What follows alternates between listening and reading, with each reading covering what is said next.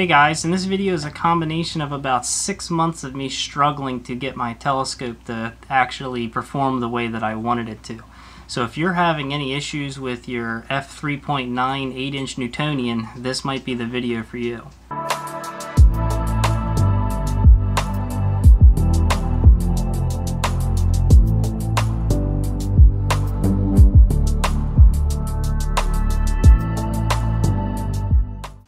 Okay guys, so the first thing that I want to bring up is a picture that I took in 2018 before I did everything to my Newtonian to fix this. And if you look here, you can see all the stars just have these random diffraction spikes.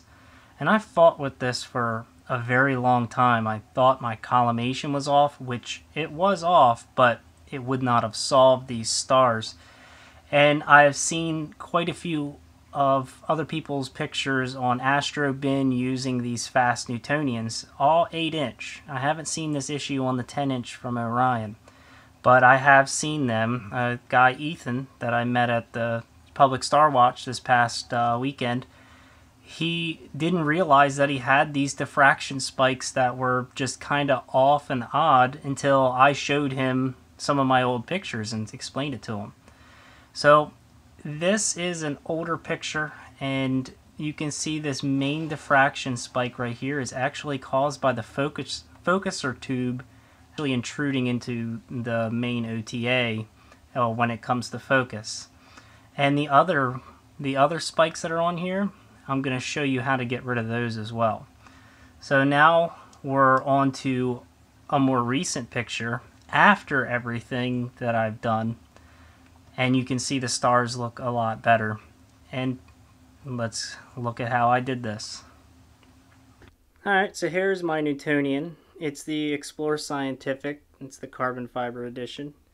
And the first thing that I did to it was uh, replace the focuser. Now the focuser is not something you need to replace but I always had the intention to get a motorized focuser. It's something that I always wanted it just happened to help me in that it doesn't protrude the uh, the OTA. So the main diffraction spike was from the original focuser. Now, if we take a look at the original focuser, when that thing's not even all the way racked in, that thing is sticking out a lot. So with my camera combina combination and coma corrector, the focus just happened to have this protruding about a half of an inch into the OTA, which caused a massive diffraction spike on my star. But let's take a look at this a little bit more, how you actually can get rid of this with the stock focuser without replacing it. Alright, so here's the stock focuser that came on my telescope. The problem is, is that this part right here is too long, but that comes off and you need to take this thing all the way off. Now this is a disclaimer, I never did this. I only just replaced the entire focuser. But it looks like Explore Scientific sells a shorter version of this. Because if you're using the coma corrector and you just take this all the way off, I'm not 100% sure you would still be able to get focus. But they do make a 1 inch version and they sell it on High Point Scientific's website because this is the 2 inch. And let me spin you around over here and look at my screen. So this right here, it's 22.99 and it says it's for rack and pinion focusers, but it, it looks exactly the same. I think they just did that as a general thing.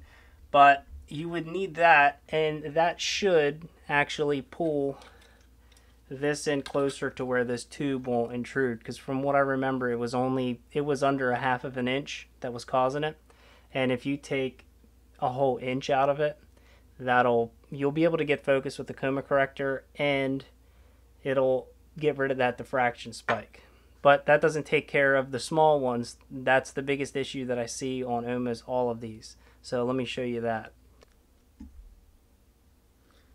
Alright, so this is kind of hard to get on camera, but we're looking down inside the OTA at the mirror.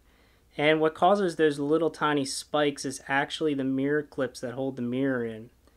And I don't understand why uh, the mirror clips cause so many issues with these particular telescopes.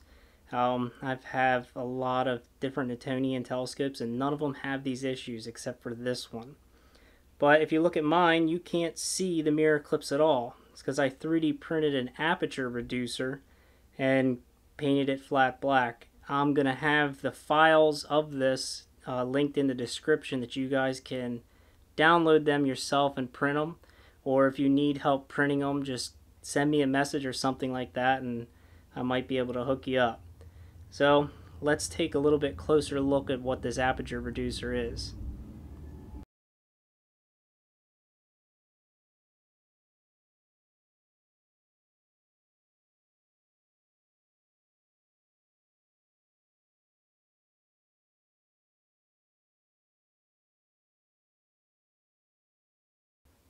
Alright, so we're at my workbench now and I have the primary mirror out of the telescope. And here's another piece of one that I just printed. And how I made it was I just sanded these edges right here and I glued it together with 5 minute epoxy that you can get at any store, Walmart. And I put it on a piece of wax paper and I glued the edges and you can pull it right off the wax paper and then I sanded it all down and how I, I painted it with stove paint, which uses a real black pigment. It's just like your regular cooker paint that you would have for your grill. And I mounted it with some 3M Extreme Duty double-sided tape. It's got three layers just to raise it up off of the screws. And what's nice about this, this won't void your warranty. What will void your warranty is another way to do this, and that is to remove these mirror clips and glue the mirror to the back of this. Now the back of this looks like that. They don't have any holes or anything like that and I don't trust that. I transport this thing everywhere and I've never had a problem with this thing coming off. But this is the number one thing that'll fix your your stars and your contrast in your images. So I'll have the files for this down in the uh, down in the description. I'll put them on a Google Drive, and they're free for you guys just to take them and modify them and do whatever you need to do to fix your Newtonian. Now, collimation is a whole nother thing because the picture that you get through your collimation devices is not going to look the same as 99% of the tutorials out there on how to collimate your telescope. it looks a little different, and I was constantly trying to get this picture that they had on the internet and it's not possible on these telescopes. So I'm going to post up a picture now of what the collimation picture should look like through your eyepiece and I'm going to show you a video um, here in a second of me looking through the eyepiece. Here we're looking down my focuser tube as well as I can hold the camera steady and in line with the focuser tube. Um, as you can see um, the secondary has a very the distinct offset to it. And this is actually what you want in a fast Newtonian. Um, I searched around for quite a while before I found this out, and I was always wondering why can I never get this thing into collimation? Well, I was doing it wrong. That it's supposed to look like this. Um, and I believe anything faster than like f4.5, uh, the secondary starts to look oblonged, but you want to get that focuser uh, picture dead center. And the biggest issue that I had with this telescope was I couldn't get the secondary high enough. And what I had to do was flip. Let me see if I can get you guys up here. I had to flip this little plate that was right in here that actually held on to the secondary. And I don't know why. I guess it was on backwards from the factory and nobody caught it. But I played with this forever. And then one day I flipped this thing around and I think it took me 30 minutes to get this thing in. So if you are having trouble with the secondary not being high enough so that it's a circle in your picture, try looking at this secondary. There could it could be put together wrong, could just be a fluke, but that was my one of my biggest issues with the collimation. So I hope this video is helpful to you and may save you six months of hassle like I went through. And I want to say I don't think it's necessarily the manufacturer's uh, problem. I think that it's certain camera and coma corrector combinations because I see a lot of images out there and they sold a lot of these telescopes. I think this just happens to some people and this is what you have to do. Um, I'm very happy with the telescope after these modifications and I wouldn't trade it for any other telescope. So you could take that for what it is.